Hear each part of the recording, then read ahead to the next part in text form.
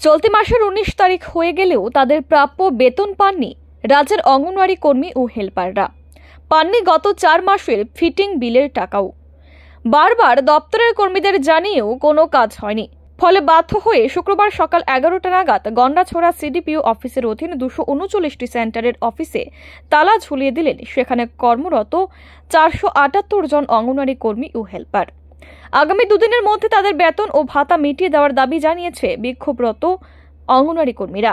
খবর পেয়ে ঘটনাস্থলে যান গন্ডাছড়া থানার পুলিশ বাহিনী। নগর প্রজেক্ট থেকে একজন ইয়ে কর্মী রসিয়াবাড়ির সেক্টরের আইসিডিএস ওয়ার্কার।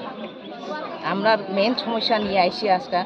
গত মাসেও আমরা ইয়ে এগারো তারিখে বেতন দিচ্ছি এর আগের মাসে এক তারিখ অনেক সময় পাঁচ তারিখ, অনেক সময় দশ তারিখ। এই এই মাসও অপেক্ষা করতে করতে আমরা উনিশ তারিখ হইল। উনি- উনিশ তারিখ হয়েছে গত সোমবারে আইসি, আইয়া তিন দিন পরে বেতন দুব্ব কইয়া তিন দিন অপেক্ষা করলাম আমরা, কালকা দুইটা অবধি মেসেজ আইসে না। এরপরে তিনটার সময় আমরা আলোচনা করছি, চলো আমরা অফিস তালা দেই। এগুইয়া আমরা আইসি অফিস তালা দিচ্ছি এখন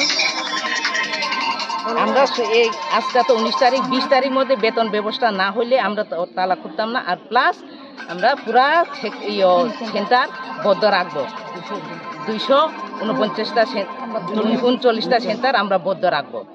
এই উদ্দেশ্য নিয়ে আমরা আইছি এই সমস্যার সমাধান যাতে সমাধান দুই দিনের মধ্যে সমাধান হয়। আর প্লাস ফিডিং বিল চার মাসে বকিয়া রয়েছি এটাও বেতন সঙ্গে হয়। আর ইয়ে দুই দুই মাসের এরিয়া বিল রয়েছি মোবাইল রিচার্জ রয়েছি এটা যাতে এই বেতনের লোভে হইয়া যায় এটা আমার দীর্ঘ সময় বিক্ষোভের পর টিটিএ, এডিসির সমাজ কল্যাণ এবং সমাজ শিক্ষা দপ্তরের প্রিন্সিপাল অফিসার ফোন করে আশ্বাস দেন।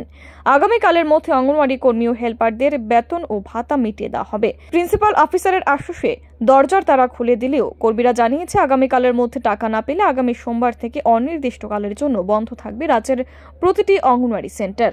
Bureau report R E news